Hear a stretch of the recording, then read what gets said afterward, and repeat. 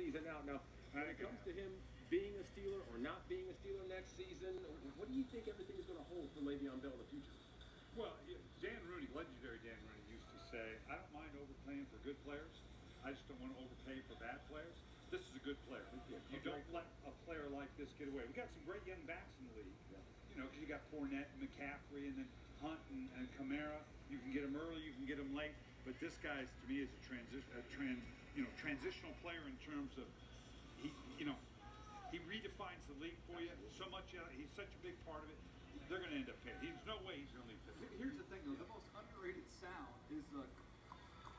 Yeah. We don't use that sound enough. James is that bringing James that thing back. He's Okay. bringing that thing back. Dougie, Dougie Fresh style.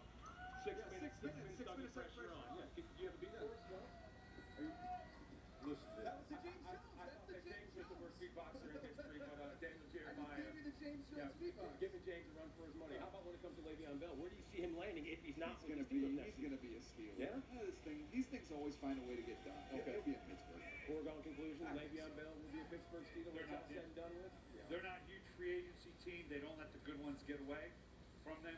He's a good one. Yeah, Le'Veon Bell is a great one. So we will see how it all comes to fruition in Pittsburgh. We know Sorry, the Pittsburgh Steelers trying to take another crack at another Vince Lombardi trophy, and James Jones still the worst beatboxer in the history of we love you. beatboxing. Well, we're almost done here.